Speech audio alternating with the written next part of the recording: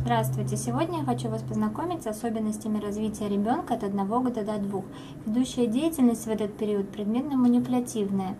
Основное психологическое новообразование – наглядно-действенное мышление, то есть ребенок начинает общаться с окружающим миром через окружающие его вещи. Зная это, родители могут организовать игровой процесс так, чтобы развить все необходимые для этого возраста навыки. Например, развитие мелкой моторики ведет к постепенному развитию речи. Несмотря на то, что память у ребенка в этот период довольно кратковременная, в этом возрасте закладываются все основные понятия о форме, цвете и объеме.